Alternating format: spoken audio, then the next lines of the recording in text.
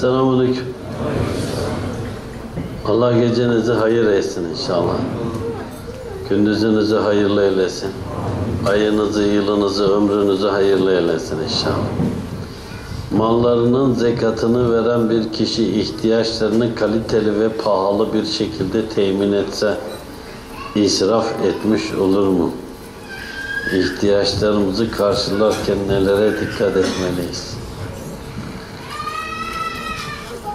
Burada normalde bir kimse gelir Hazreti Peygamber sallallahu aleyhi ve sellem hazretlerine Ya Resulallah ben iyi giyinmeyi seviyorum der.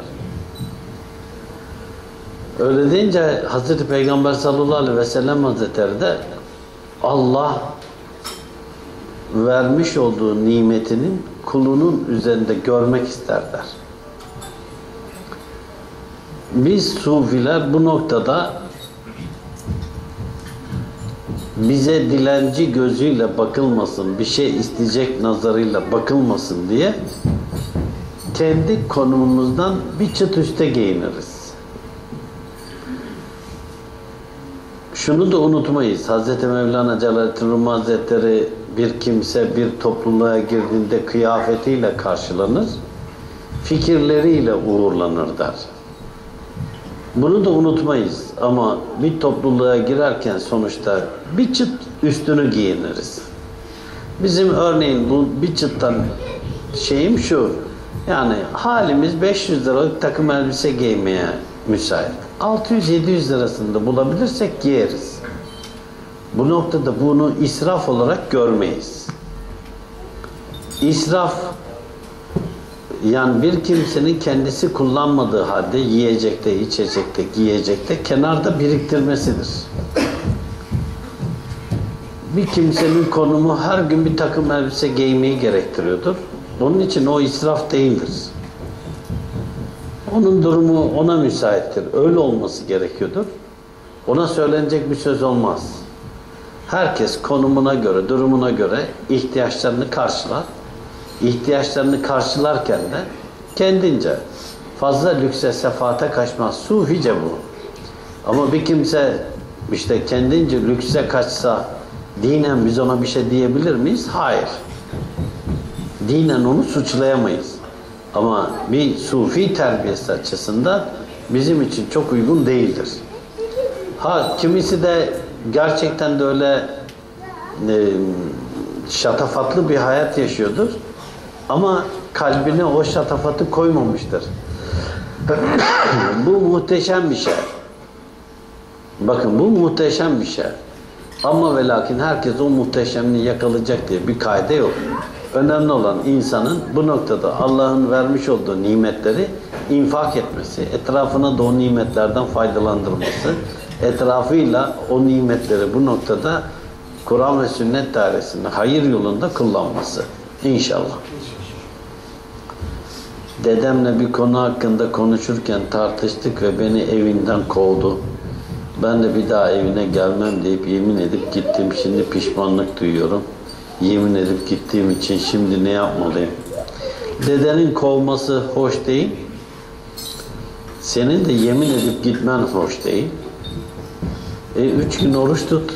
Git yine dedenin gönlünü al. Atandır çünkü. İnsanoğlu bir şeyi neden sever? Sevmek ya da sevilmek ihtiyaç mıdır? İnsan sevgisini kontrol edebilir mi? Yine söyle. Yani yönlendirebilir mi? Cenab-ı Hak kendince kendi sevgisini mahlukatın üzerinden yüzde birini mahlukata yaydı. Sevgi dediğimiz unsur Cenab-ı Allah'tandır. Cenab-ı Hak da Cenab-ı Allah da yüzse bu sevgi bunun bir tanesini bütün mahlukatın üzerine yaydı. Bütün mahlukatın fıtratında sevgi var. Yaratılış olarak. Hepimizin fıtratında yaratılış olarak sevgi var. Bu sevgiyi bir kimse kendince yönlendirebilir mi? Evet. Mesela bir kimse menfaatinden dolayı sevebilir mi? Evet. Onu menfaat sevgisinden arındırıp menfaat sevgisinden arındırıp bu bir kişiyse, bir şahıssa, bu eşse, işte bu çocuksa, bunu menfaat sevgisinden arındırılması gereken yerler vardır. Oradan arındırmak o kimsenin üzerine erdemliliktir. Ama bir kimse işini de sevmeli. Bakın işini neden sevecek? O işini de severken diyecek ki Allah bana böyle bir nimet vermiş. Ben bununla eşimi, çoluğumu, çocuğumu, etrafımı hiç kimse muhtaç etmeden yaşatmaya çalışacağım. Kur'an ve sünnet dairesinde onların iyi bir hayat sürmeleri, dinlerini iyi bir şekilde yaşamalarına vesile olacağım, sebep olacağım diye o kimse kendi mesleğini ve kendi işini sevmeli. Bu konuda titiz davranmalı. O zaman burada normalde sevgiyi kontrol altına almak var mı? Bu manada var. Biz bu noktada kendimizce neyi seveceğimizi kontrol altında tutmamız lazım. Yani bazen derler ya işte yok sevgi ota da konarmış B O K'ye de. Hiç alakası yok. Cahil insanlar giderler B O K'yi severler.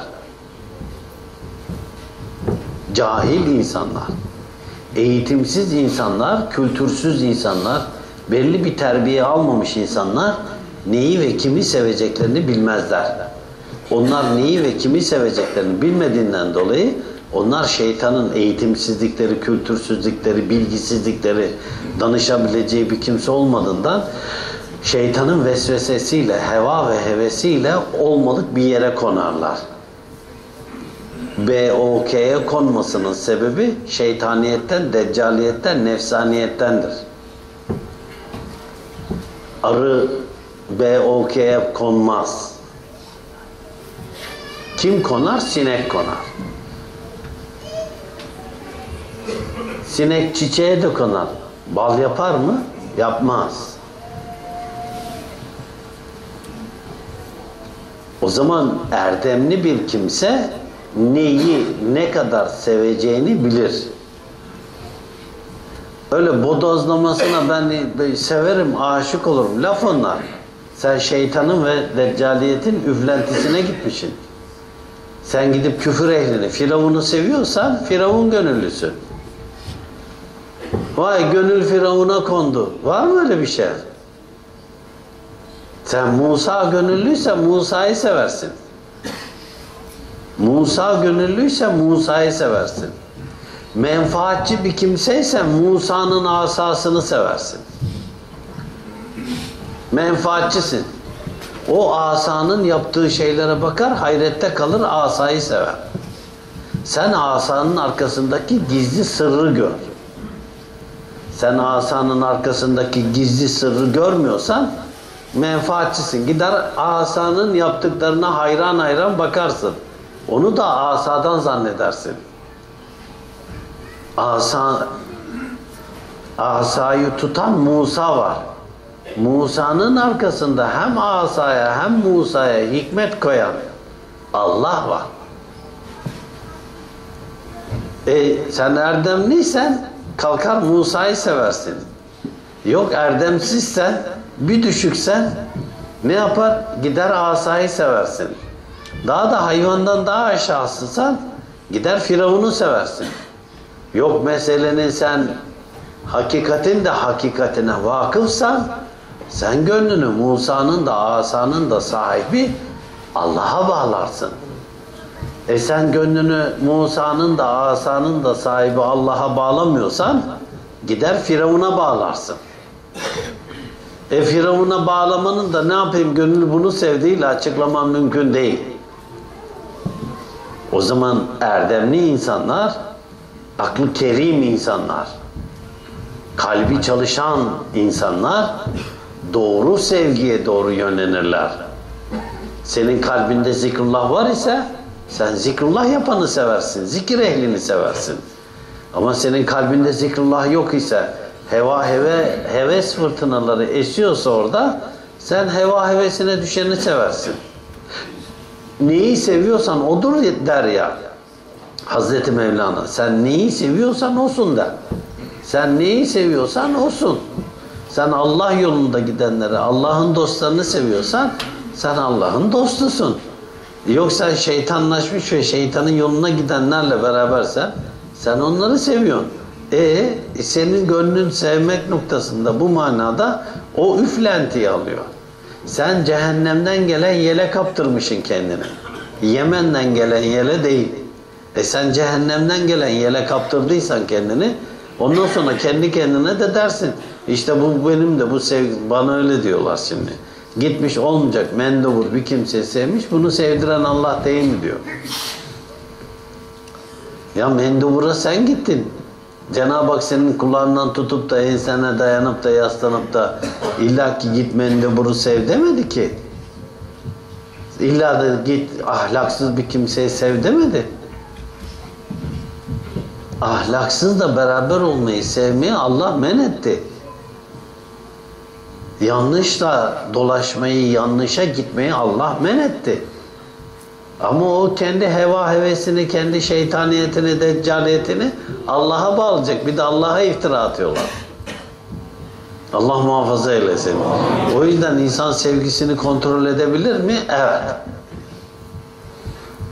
Biz doğruyu, iyiyi, güzeli, hak ve hakikati sevmekle emrolunduk. Yoksa önüne gelen herkes her şeyi sever ondan sonra. Bu da doğru olmaz. Biz kendimizce böyle yanlışı sevdiğimizi kendimiz biliyoruz da bu bizim hoşumuza gidiyor ya. Nefsimize tatlı geliyor. Nefsimize tatlı gelince bu sevgiyi de gönlümüze koyan, koyan Rabbim değil mi diyoruz biz. Onu biz kendi elimizle hani Hazreti Ömer Efendimizin dediği gibi biz puttan helvalar yapar karnımız acıkınca da yerdik diyor. Şimdi insanlar duygularıyla puttan helvalar yapıyorlar. Duygularıyla. Puttan helvayı yapıp kendisi o helvayı yiyor. O duygusuyla yapmış olduğu helvadan putu da Allah'a dayandırıyor. Daha da iş sıkıntılı. Ya sen bunu kendi ellerinle yaptın bu putu.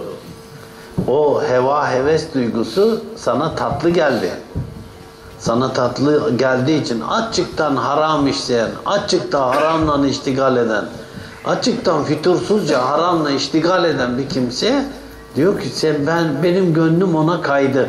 Onu da Allah bana sevdirdi. Diyorsun kızım bak bu adam içkici, kumarcı şöyle böyle namaz kılmıyor, oruç tutmuyor. Yok. Hadis-i şerif senin ekmeğini namaz kılanlar yesin.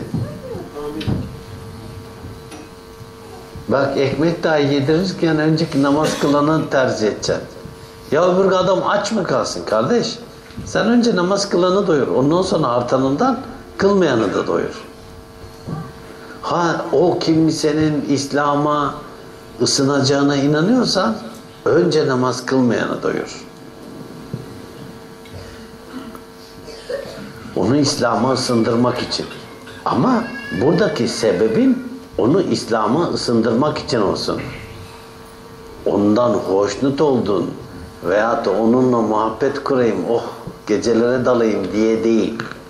Ya buradaki bakın niyet onu İslam'a, Kur'an'a, sünnete ısındırmak. O zaman önce ona ver. Hani e, zekat önce fakirlere sonra miskinlere ondan sonra işte borçlulara, alimlere, Allah yolunda cihad edenlere, yolculara ondan sonra da gönlünü İslam'a ısındırmak için olanlara diyor ya evet bu da onun gibi bir şey. Niyetin onu İslam'a ısındırmaksa söyleyecek bir laf yok. Ama niyetin öyle değil de oh hoşuna gitti senin heva hevesine hitap etti o zaman sıkıntılı Allah muhafaza eylesin. Kesilen akika kurbanından kişi kendisi yiyebilir mi? Evet yiyebilir. Yediği miktar kadar parasını tasadduk eder. Şimdi akika kurbanı kesilmiş. Evde de millet az bir şey kavuracak, evirecek, çevirecek ya. Ama hepsini dağıtıyorsa dağıtsın. Ama yenmesi gerekti diyelim ki öyle bir şey oldu. Aman hakika kurbanından tatalım böyle batıllar, batılı şeyler vardır ya sanki tatmazsan hakika kurbanın yerine geçmeyecekmiş gibi veya yemezsen ondan sanki bir şey olacakmış gibi böyle bir e, ev halkında bu tip şeyler olabilir. O zaman işte kaç kilo et yendi? 2 kilo. Kaç kilo tekabül etti bu hayvanda? 10 liraya 20 liraya. 10 lira 20 lira ne yapar? Tasadduk edersin o etten yemek istiyorsan yersin. Kurban etini dağıttıktan sonra kalanı çocuğa mevlüt okutup gelen misafirlere ikram edilebilir mi? Akika kurbanı tamamıyla infak edilecek. İster gelen misafirlere yedirin, ister dağıtın. Bu noktada sıkıntı yok.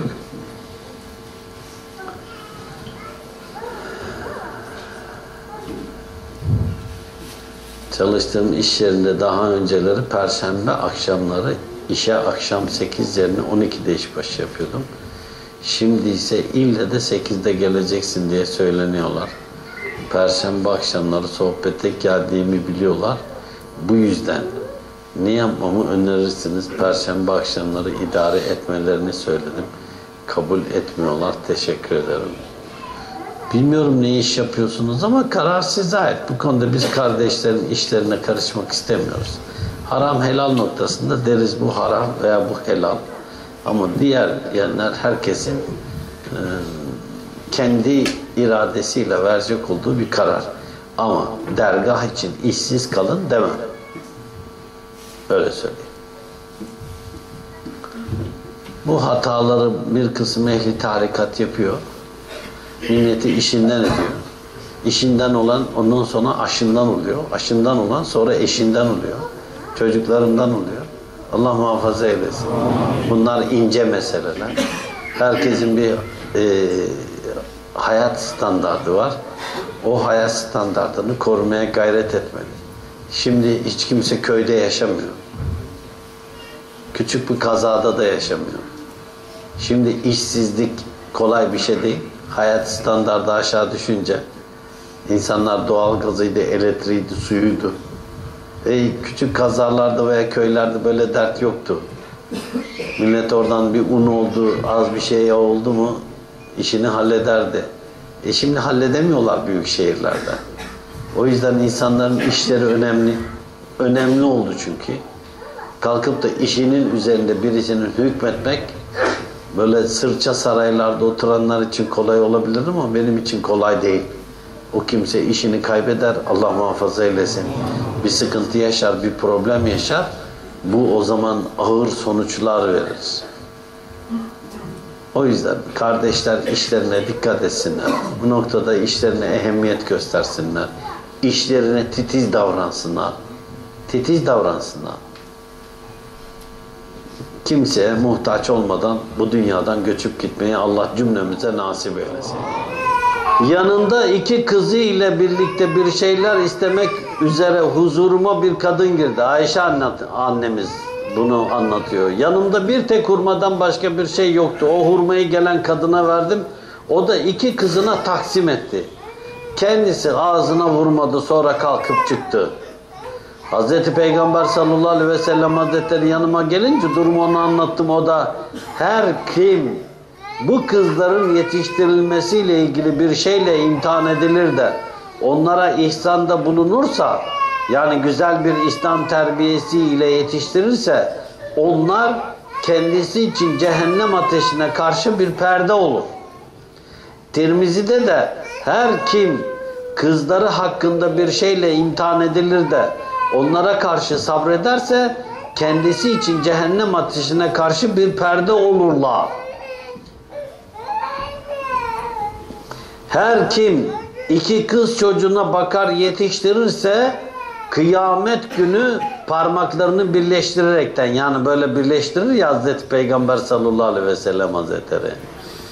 Der ki parmaklarını birleştirerek dedi ki ben ve o kıyamete böyle geliriz. Mahşere. Yine her kim iki kız çocuğuna bakar yetiştirirse ben ve o cennete bu ikisi gibi gideriz. Gireriz buyuraraktan işaret parmağıyla orta parmağını gösterdi. Yine hiçbir Müslüman yoktur ki iki kız çocuğu bulunup da onların yanında bulunduğu veya onlar kendisinin yanında bulunduğu sürece onlara iyi bakmış olsun da onlar kendisini cennete sokmasın.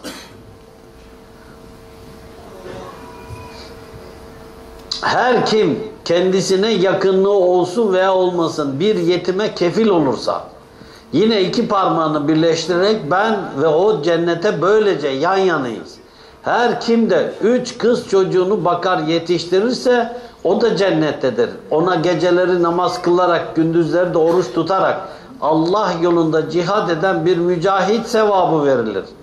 Herhangi bir Müslümanın üç tane kız çocuğu olur da onları evleninceye kadar veya ölünceye kadar bakarsa kendisi için cehenneme karşı bir siper olurlar. Bir kadın iki kızı olursa da aynı mıdır diye sordu.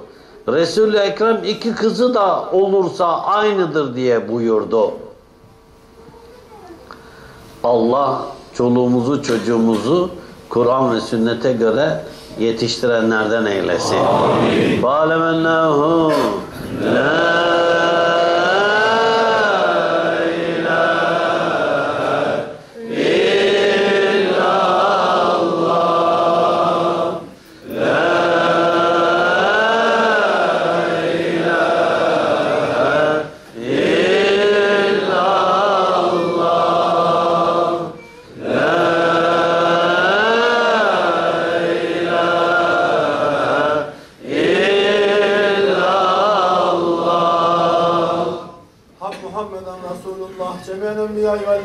velhamdülillahi rabbil alemin. El Fatiha masal.